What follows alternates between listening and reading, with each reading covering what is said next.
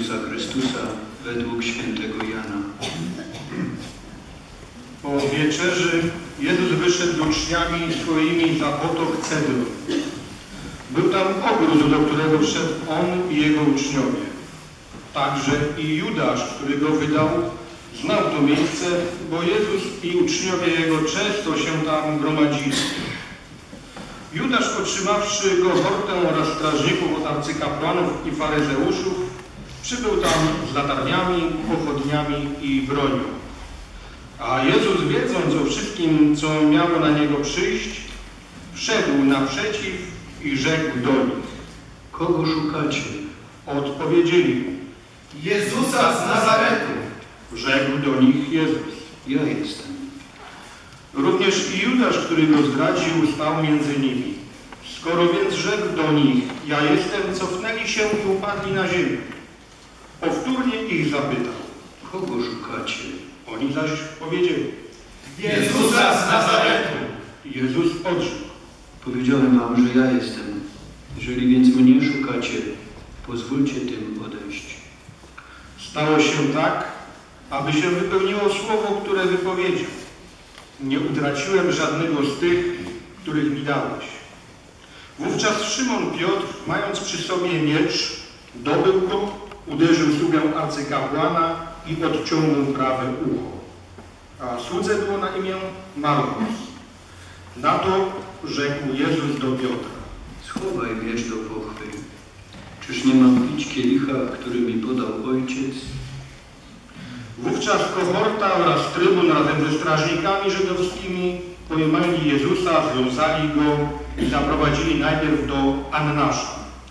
Był on bowiem teściem Kajfasza, który owego roku pełnił urząd arcykapłański. Właśnie Kajfasz poradził Żydom, że warto, aby jeden człowiek zginął za naród. A szedł za Jezusem Szymon Piotr razem z innym uczniem. Uczeń ten był znany arcykapłanowi i dlatego wszedł za Jezusem na dziedziniec arcykapłana, podczas gdy Piotr zatrzymał się przed bramą na zewnątrz.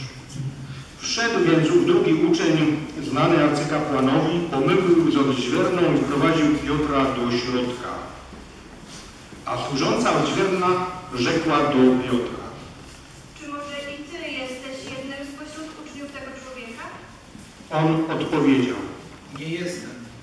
A ponieważ było zimno, strażnicy i słudzy rozpaliwszy ognisko, stali przy nim i grzali się.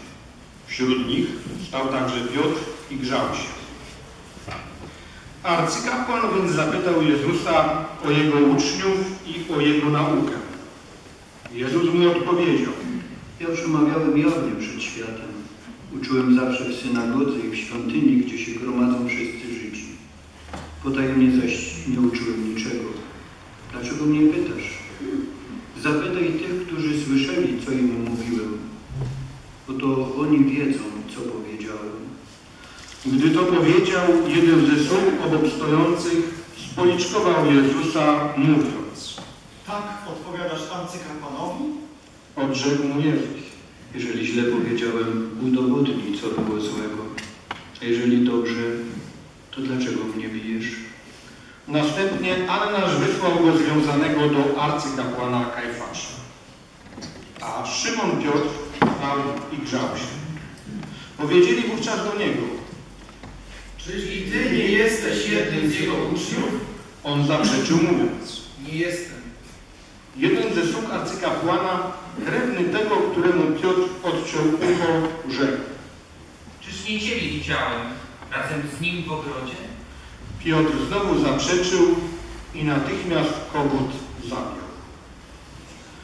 Od Kajfasza zaprowadzili Jezusa do pretorium, a było to wczesnym rankiem. Oni sami jednak nie weszli do pretorium, aby się nie skalać, lecz aby móc spożywać paschę. Dlatego Piłat wyszedł do nich na zewnątrz i rzekł. Jaką skargę byście przeciwko temu człowiekowi? W odpowiedzi rzekli do niego. Gdyby to nie był złoczyńca, nie wydalibyśmy go Tobie. Piłat więc rzekł do nich.